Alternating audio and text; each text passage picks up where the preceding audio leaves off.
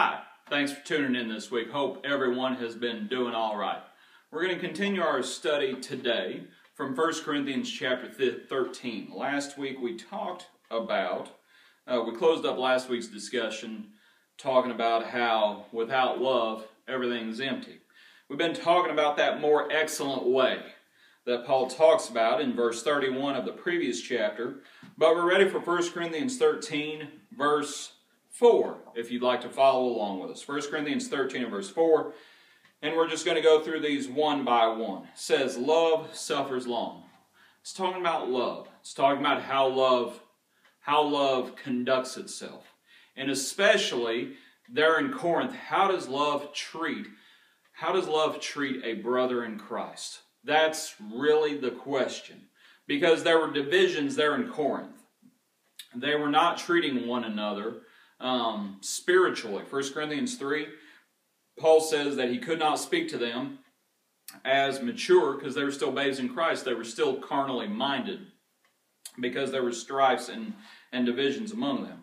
So here he's, he's going through and he's talking about love and he's talking about how we ought to love our brethren.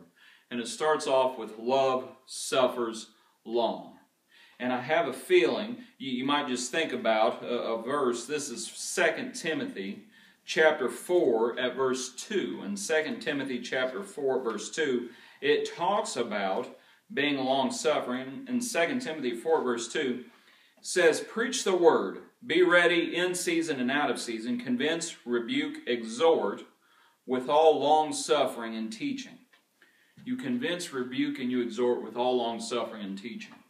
In 1 Corinthians 13, when it says love is long suffering, that does not mean that you overlook sin. That's not what it means. It means this is a growing process. And a lot of times you have to be patient. You're not patient with your rebuke of sin. As and what I mean by that is you do not put off rebuking sin. If your brother sins, you rebuke him. But you have to be patient with them as as they as as they need to repent. Love is long suffering. Love suffers long. How do you treat your brethren when they have not been kind to you? When someone has not been loving to you, how do you treat them? That's the question. Love suffers long. And not only does love suffer long, love is kind as it suffers long. This is not give them the cold shoulder and don't talk to them for weeks or months or years at a time. That's not, that's not being long suffering like the Lord wants us to be long suffering. Love is long suffering and it's kind. The Lord was kind to his enemies. The Lord was kind when people despised him. The Lord loved us even when we were enemies. How do we treat our brethren who hopefully are not our enemies, but maybe there's some sort of strife or division? How do we treat them? Love suffers long and it's kind. Love does not envy. When you love some when you love someone, you do not envy anything that they have. Here they were envying each other's spiritual gifts and perhaps other things. If you love someone, you do not covet what they have. You do not want to take what they have. You want the very best for them. If you want the very best for someone, if you consider others better than yourself, how does that leave room for wanting what they have, for envying what they have? If you want what is best for them, then you won't envy anything of theirs. It says that love does not parade itself, it is not puffed up. It's the idea of parading yourself at the expense of your brethren. The Pharisees, they did all their works to be seen by men because they thought they were better than everybody else. When you parade yourself, you think that you're better than your brother and you're puffed up against your brother. Well, if you love them, you don't think that you're better than them. If you love them, you don't want to elevate yourself at their expense. If you love them, what you want to do is you want to serve them. You want, you want to bring them up. You want to edify them. And that's not what was going on there in Corinth. They weren't wanting, they weren't wanting to serve each other. They were wanting to parade themselves at their brethren's expense. Verse goes on, it says that love does not behave rudely. Okay, just very simply, love does not behave rudely how we conduct ourselves, how we, how we talk to our brethren, how we think about our brethren. How do we talk about our brethren when our brethren are not there? Love does not behave rudely. Love does not seek its own. We consider others. We look out for each other's interests. Okay, we look out for each other's interests, is what other verses in Scripture say. Love does not seek its own, love is not provoked. When someone, when, when you love someone, when you love someone, and maybe they don't love you like they should, okay? And they do something, they do something that hurts you. Okay? The question is how do you respond to that? How do you react to that? Are you going to get into a tit for tat relationship? Are you going to try to one up them on wickedness? Or are, you going to understand you're going to, and if you love them, you're not going to let them provoke you. You're not going to let them provoke you into wrath. You're not going to let you're not going to let their hatred make you hate. You're going to love them and you're going to do your best to help them. You're, you're going to look out, you're still going to look out for them.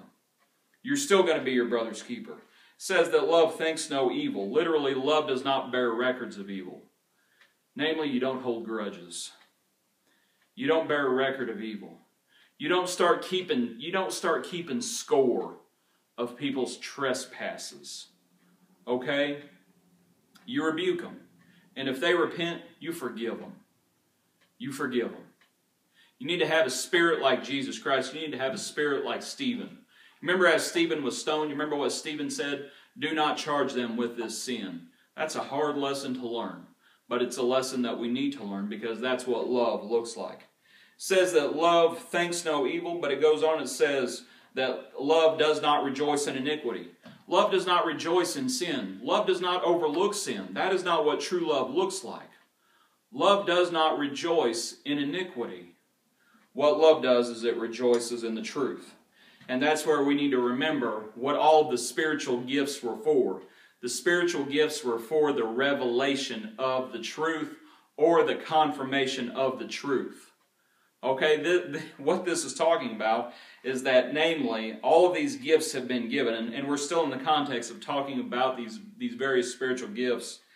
All these gifts have been given, and the question is are you, are you going to rejoice in what God has revealed? Are you going to abide by it? Okay? You know, parts parts of the Bible people love to people love to apply. Other parts of the Bible people say, I got no time for that. What we've got to do is we've got to take the whole thing. We've got to take the whole thing and apply it to our lives.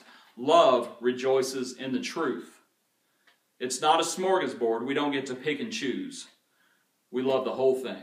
And that's what love does. Is love rejoices in the truth. As we rejoice in the truth and as we try to help our brethren, as we love our brethren, and as we try to abide with our brethren by God's word in the Lord's body. Hope you've enjoyed this study. We'll pick up here in 1 Corinthians chapter 13 next week. If you have any questions or comments, leave them down below. We'd love to hear from you. Don't forget to subscribe. Don't forget to check out our website. We have a lot of things on our website, and uh, we would love for you to, to check those out. Hopefully, you'll be edified by them. God bless you. Keep studying. Tune in next time.